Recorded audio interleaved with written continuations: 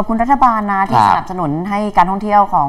ประเทศไทยเราเนี่ยเป็นพระเอกเราใช้คำว่าเป็นพระเอกในเหมือนกับเป็นตัวเดินนำของเรื่องในการที่จะฟื้นฟูเศรษฐกิจนั่นเองนะคะ ซึ่งแน่นอนแหละว่าตอนนี้เนี่ยก็มีข้อชี้แนะมาเพิ่มเติมด้วยนะคะ อยากจะให้มองในเรื่องของการเก็บค่าเหยียบแผ่นดินนะคะ หนุนในเรื่องนี้เพราะว่าจะสามารถช่วยสร้างรายได้ไม่ต่ำกว่า 8,000 ล้านบาทค่ะ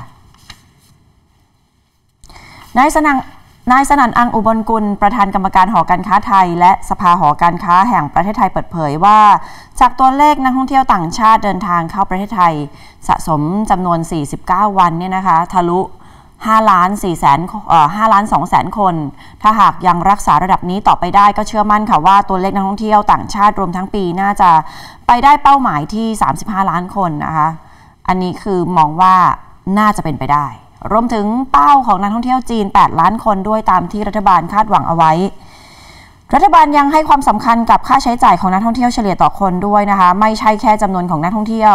ยังมองไปถึงว่าเป็นนักท่องเที่ยวคุณภาพสูงที่จะมีการใช้จ่ายกันสูงด้วย และปีนักท่องเที่ยวก็มีกลุ่มตลาดหลัก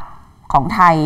ก็คือนักท่องเที่ยวที่มาเที่ยวกันแล้วอยู่ยาวและใช้จ่ายสูง อันนี้เริ่มกลับมาแล้วนะคะ ช่วงต้นปีนักท่องเที่ยวเยอรมันอังกฤษฝรั่งเศสและสหรัฐ กลับมาอยู่ในกลุ่ม 10 อันดับที่เข้าไทยมากที่สุดค่ะเกินกว่า 150,000 คนผนวกกับการที่รัฐบาลเริ่มขับเคลื่อน Happy Model ร่วมกับภาคเอกชนในทุกพื้นที่ทั่วประเทศ ซึ่งจะช่วยยกระดับอุปทานได้ในทุกระดับ และช่วยเพิ่มค่าใช้จ่ายเฉลี่ยของนักท่องเที่ยวต่างชาติในปีนี้ ถึงจำนวน 52,000 ถึง 55,000 บาท ต่อคนต่อทริปได้นะคะสำหรับนักท่องเที่ยวไทยเอง ปีนี้ยังคงดีขึ้นอย่างต่อเนื่องค่ะ เดือนมกราคมมีผู้เดินทางสูงถึง 14 ล้าน2แสนคนนะคะ สร้างรายได้ถึง 80,000 ล้านบาท สูงกว่าช่วงเดียวกันของปีก่อนร้อยละ 6 และร้อยละ 9 ตามลำดับหอการค้าก็สนับสนุนให้รัฐบาลใช้โอกาสนี้ ในการกระจายนักท่องเที่ยว และ รายได้เหล่านี้ไปยังเมืองรองเป้าหมายด้วยค่ะ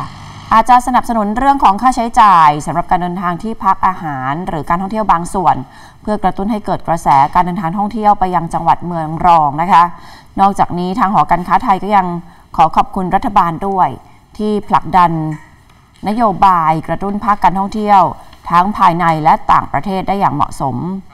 อย่างเช่นการยกเว้นการตรวจลงตรา เพิ่มระยะเวลาพำนักให้นักท่องเที่ยว อีกทั้งยังเดินหน้ารุกตลาดต่างประเทศต่อเนื่องค่ะ รวมถึงเพิ่มเที่ยวบินระหว่างประเทศเพื่ออำนวยความสะดวก ลดค่าใช้จ่ายในการเดินทางส่งผลให้ จนถึงปัจจุบันนี้มีเส้นทางบินใหม่ๆ เพิ่มขึ้นถึง 23 เส้นทาง และมีเที่ยวบินประจำเพิ่มขึ้นอีก ไม่น้อยกว่า 50 เที่ยวบินจาก 32 สายการบินนะคะ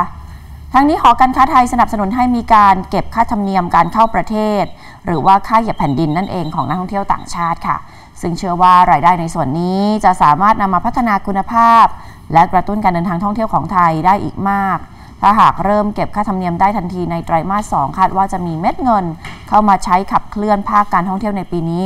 ไม่น้อยกว่า 8,000 ล้านบาทค่ะ